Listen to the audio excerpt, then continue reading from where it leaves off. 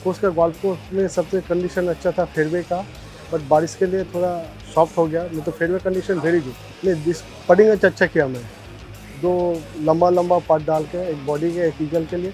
अब जो बाद में हो तो क्लोज मारा था।